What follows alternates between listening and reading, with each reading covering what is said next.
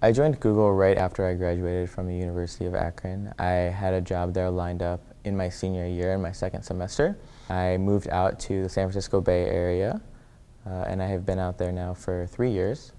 I'm a financial analyst for Google, specifically working on YouTube partnerships. Google is a tremendous place to work. We pride ourselves on being innovative and having flexibility. However, we also pride ourselves on working hard and working smart. I've been tremendously rewarded in my career by having the opportunity to interact with some of the brightest minds throughout the world.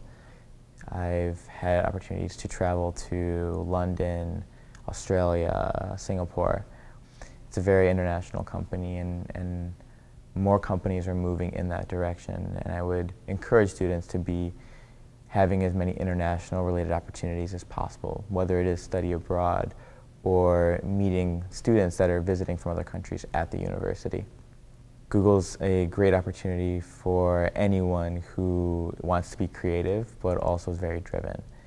You get to work on a lot of projects that make a big difference in the world. I'm not 100% sure on what's next for me yet, but I do know that I really enjoy the type of role that I'm in now. It's very meaningful and exciting for me to work on projects that make a big difference in such a large company.